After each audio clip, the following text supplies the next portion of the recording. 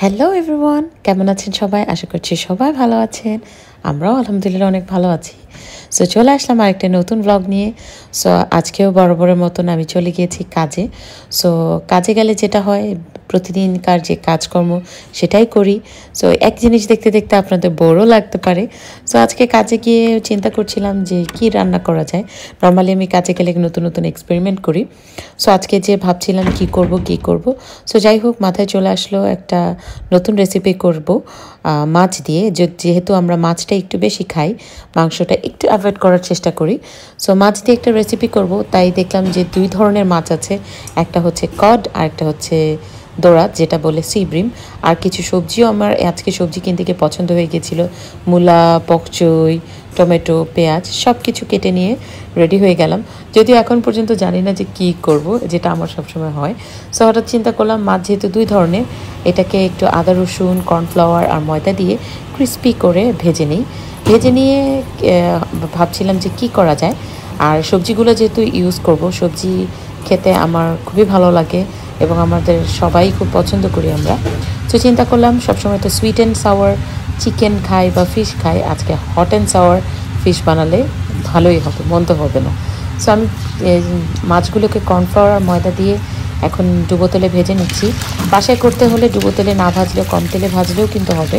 যেহেতু আমি রেস্টুরেন্টে তেল তো সবসময় রেডিই থাকে। আরও হ্যাঁ আপনারা আবার এই কড়াইটা দেখে ভাববেন না যে এটা খুব ময়লা। এটা আসলে তেল, তেলেরই কড়াই, পুড়তে পুড়তে এই কালার হয়ে গেছে। আর কিছু সস ছিল, যেমন টমেটো ক্যাচাপ তারপরে soya sauce chilli garlic sauce tamarind paste সব কিছু দিয়ে একটা মিশ্রণ তৈরি করে নিলাম। ফিশটা ভাজা হতে হতে। আর দিয়ে দিলাম সামান্য একটু চিনি, সামান্য একটু টেস্টিং সল্ট অনেকে আবার টেস্টিং সল্টটা দেখলে একটু অপছন্দ করেন বাট অল্প ইউজ করলে কোনো প্রবলেম নেই। আর দিয়ে দিচ্ছি chilli powder extra hot chilli powder so আমি যেহেতু এটাকে হট অ্যান্ড সাওয়ার বানাবো, এই জন্য আমি একটু তেঁতুলের কাতও ইউজ করছি। আর আমরা সবসময় এই রেডি তেঁতুল টামারিন পেস্টটা রাখি হ্যান্ডি যে যখন খুব সময় কম থাকে, তখন এটা ইউজ করি। এটা টেস্টটাও কিন্তু বেশ ভালো। সো আমাদের কিছু সময় বাঁচে সো এদিকে মাছটা কিন্তু ভাজা হয়ে যাচ্ছে। একদম মচমচে, যেহেতু কর্নফ্লাওয়ার আর ময়দা মিক্স করে দিয়েছি একদম মচমচে একটা কোটিং হয়েছে। আর কটফিশ কিন্তু নর্মাল রান্না করতে গেলে ভেঙে যাওয়ার চান্স থাকে। সো কটফিশ আমি যখনই রান্না করি, তখনই এরকম ভেজে নেই। সো এখন একটা আমার সেই ট্রাস্টেড ওকের মধ্যে অল্প কিছু তেল দিয়ে নিলাম। আমি এখানে নর্মাল ভেজিটেবল অয়েল ইউজ করছি। তার মধ্যে দিয়ে দিলাম রসুন কুচি। যেহেতু সবজি ইউজ ইউজ ইউজ করব এই ফিশে সো সবজির সাথে রসুন কুচিটা না দিলে মজাই হয় না। সো দিয়ে দিলাম পেঁয়াজ। পেঁয়াজগুলোকে আমি চার টুকরো করে তারপর এটার পাপড়িগুলো বের করে নিয়েছি। এখন পেঁয়াজটা একটু সামান্য ভাজা ভাজা হলে বাকি সবজিগুলো দিয়ে দিব। সো পেঁয়াজটা একটু ভাজা হয়েছে। আমি একটু সামান্য লবণ দিয়ে দিলাম। আর এখন দিয়ে দিব হচ্ছে টমেটো, মূলা মূলা আমি একদম পাতলা পাতলা সাইজ করে কেটে নিয়েছি।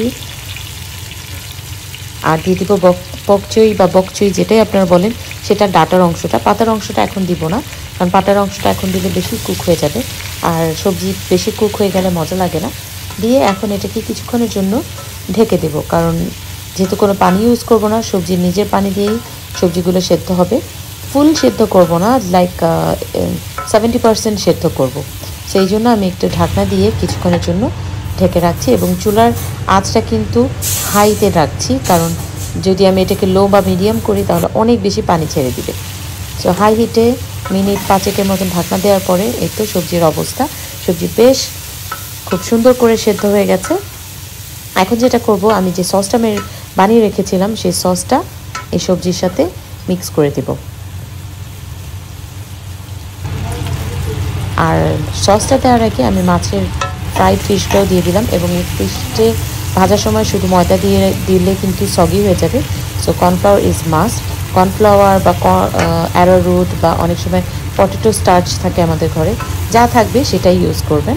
আর দিয়ে দিচ্ছি যে সসটা, সসের সাথে আমি একটু পানি দিয়ে গুলে নিয়েছি, কারণ আমি চাচ্ছিলাম না যে গ্রেভি হো গ্রেভিটা গ্রেভি একটু গ্রেভি গ্রেভি থাকুক, একদম ড্রাই চাচ্ছিলাম না। আর পকচুয়ের যে পাতাগুলো কেটে রেখেছিলাম, সেই পাতাগুলোও এখন দিয়ে দিব। পাতাগুলো পরে দিলে যেটা হবে যে ফুললি সেদ্ধ হবে না, আর ভেজিটেবলের কালারটাও একদম সুন্দর থাকবে। আর যেহেতু এটা হট অ্যান্ড সাওয়ার সো লেবুর রসটাও আমি দিয়েছি। আমি আসলে ভিডিও করতে ভুলে গিয়েছি, কারণ কাজের মাঝখানে ভিডিও করলে যা হয় আর কি। সো আর দিয়ে দিচ্ছি বোম্বাই মরিচ বা নাগা মরিচ, যার কাছে যেই মরিচ অ্যাভেলেবল থাকবে সেটার টুকরো। সো এটা যত, যে যত হট করবেন তত কিন্তু মজা। আমরাও বেশ খানিকটা আমাদের বোম্বাই মরিচটা অনেক ঝাল ছিল। সো খুবই টক ঝাল একটা টেস্ট হয়েছিল সো হয়ে গেছে আমার রান্নাটা। লেবুর রস আর ছিটিয়ে দিয়ে এটাকে এখন নামিয়ে ফেলব। আর সাথে একটু ধনেপাতা অ্যাড করলে কিন্তু আরও ভালো হয়। সো ধনেপাতাটা অপশনাল আপনারা দিতেও পারেন, নাও দিতে পারেন। কিন্তু মাছের সাথে ধনিয়া পাতার কম্বিনেশনটা আমার মানে খুবই পছন্দের। মাছ রান্না করব আর ধনে পাতা দিব না, এটা আমি ভাবতেই পারি না। সো খুবই ঝটপট একটা রান্না, পুরো রান্নাটা করতে মাত্র দশ দশ মিনিট লেগেছে। আর মাছটা ভাজতে পাঁচ মিনিট মানে টোটাল পনেরো মিনিটের বেশি রান্নাটা লাগেনি। সো ঝটপট যদি খুব মজার একটা চটপটে খাবার খেতে চান, তাহলে বানিয়ে ফেলবেন। আর হ্যাঁ আপনাদের যদি আমার রেসিপি ভালো লাগে, অবশ্যই অবশ্যই অবশ্যই শেয়ার করবেন লাইক করবেন কমেন্ট করবেন।